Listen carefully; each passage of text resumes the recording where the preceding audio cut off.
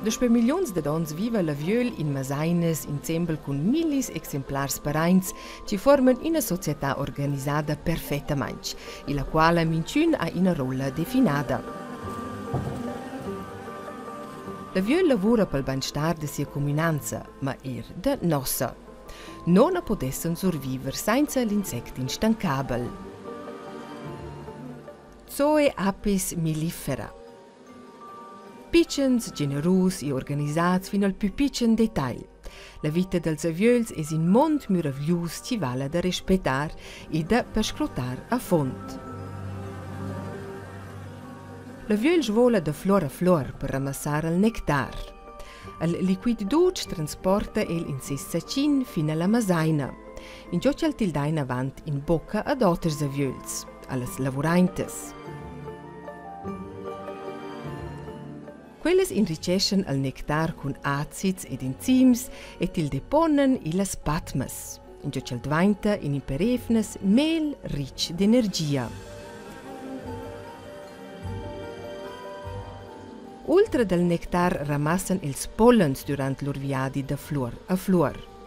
Una jada chantat sulla flor ramassa la viol als pollens in una foppa speciala dallas dus chomas da L'usce nomnada cioccia dels pollens.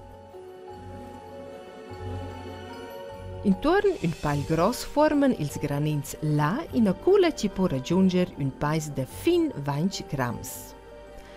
La viol ramassader torna a duna a casa con un butin de nectar e pollens.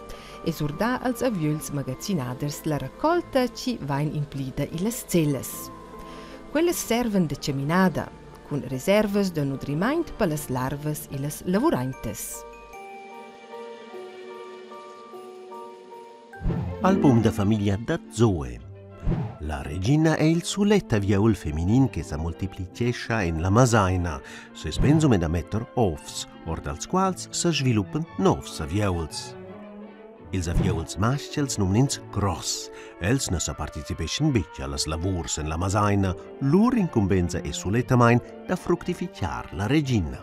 Molas femellas poseiden inguegli, Il Zavjevels nen absolutament bici insects aggressivs, els staten il guell suletamain per sa defender, su entrava erda il guell, moren els.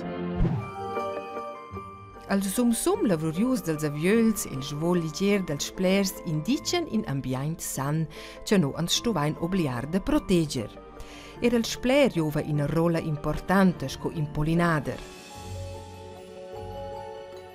Cun aiut de sia leua lunga, la tromba, Ciuccia er el nectar, ma al contrari de la viol, no sa el transformar quel in mel prezius.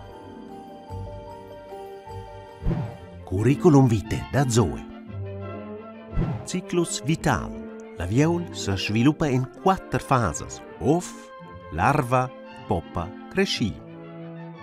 Lavurs dalla lavorera in il contorno dal gneu. Netteggiar, nutrir, producir chaira, magasinar, far guardia, per scrutar e rimnar.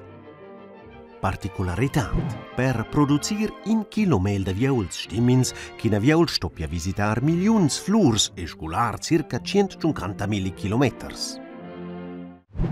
Els aviöls de mel soten per comunicar a lur compoins la posizione exacta de flors con blers pollens.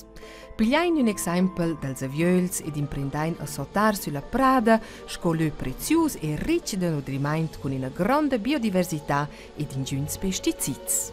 Super Bio Hero, salvator dalla biodiversità, da Vil e Na.